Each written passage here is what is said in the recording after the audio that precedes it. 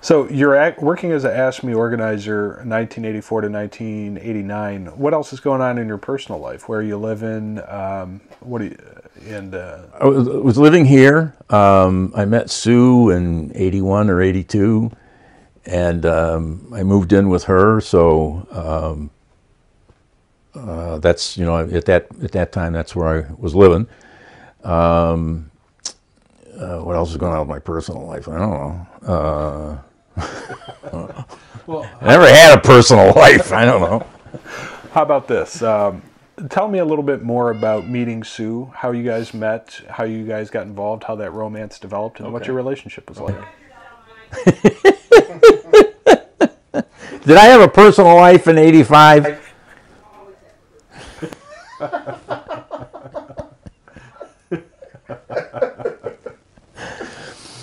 Uh, well, I met Sue um, for the first time um, at an Old West End festival, which is in June, and uh, I had a literature table out there for the Coalition for Safe Energy, and uh, you know people came by and tried to engage them and get some literature, sell them a button, whatever, and this what I uh, assumed to be a very good-looking blonde approached the table, but I was kind of hard to tell because she had her head down like that and she wanted to buy a button. So I handed her a button, and she handed me a dollar, and, and that was about it. but uh, I I saw enough of her to recognize her a week or two later when I was at a party at uh, Amjad Dumani's house on Robinwood, and. Uh, we used to call it the chicken house because he had a rooster, a plastic rooster strapped onto the fence. Um, and I was at a party there, and who do I run into but Sue? So we sat and talked for I don't know a couple of hours, and um, I thought, boy, this this person's pretty cool, you know. And um, I just made a point of keeping in touch with her. Do you think, attra- aside from her being an attractive blonde, she had a nice car. she had a house. She had a house. Yeah, I mean all the things I never had. um, well, she it was it was obvious she she really cared. Um, I, uh, I I called. She remembers this more than I do, but I, I called her on the phone once here, um, and she purchased some raffle tickets for from the Coalition for Safe Energy, and um, and it's just she started coming to meetings, and uh, we we we got to be friends and really enjoyed each other's company, and we had a rally at. Uh, against Davis Besse, another one in 81.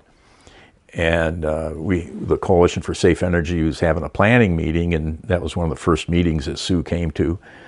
And we're, we were looking down the list of speakers, and, and we had mostly men. And I said, Sue, we got to, you know, we got to get more women on the program here. How'd you like to MC it? And she said, yeah. And I thought, oh, great you know, she'd be a, a, good MC. Well, she did it, she tells me later, because she didn't want to disappoint me. But um, even though her legs were shaking when she was was uh, the rally, she did a great job, and she's just been gung ho ever since. I mean, every demonstration I've either organized or participated in, uh, she'll make banners. She'll come to it. She'll try to get people to come to it. I, you know, I support you know all the stuff that she's done with now and uh, different issues that she's been involved in. So it's been a real mutually supportive, uh, very interesting relationship. Uh, so that's going on 40 years now. Yeah, yeah, yeah. Next year will be 40 years. Yeah. So, what would you consider her three best attributes? her blonde hair, her nice car, and her house. You named them earlier.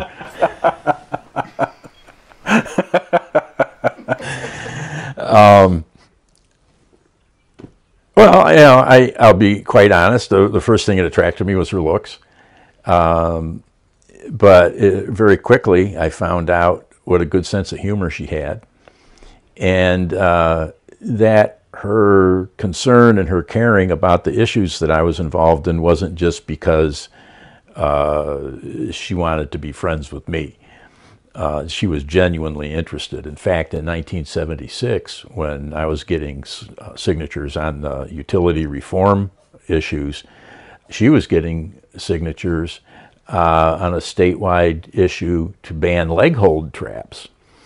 And uh, she said that kind of ruined her on doing that because she got rejected by so many people that were pro trapping.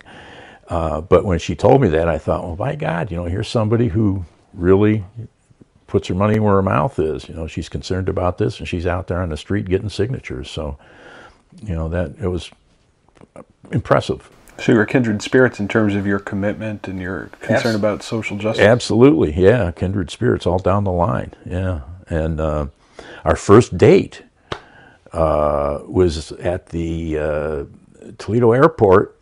Um, it was the year that Reagan fired all the air controllers. And in fact, I got a picture around here somewhere of us out there at the airport. Uh, Professional Air Traffic Controllers Organization, PATCO, and uh, labor unions in town uh, did a picket line for PATCO. And uh, I said, "Hey, you want to go to this picket line?" He said, "Yeah." So we went out. That was our first, our first out of town date was at Solidarity Day in Washington on Labor Day in '81, and um, uh, we went to Washington on the on the bus and uh, missed our bus coming back and had to grab a bus that I saw some AFSCME signs on it that was going to Minneapolis and I said ah they got to go through Toledo so they let us ride with them on the way back.